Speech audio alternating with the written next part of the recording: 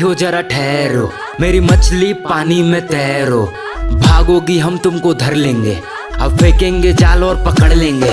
समंदर में नहीं, हम पूल में।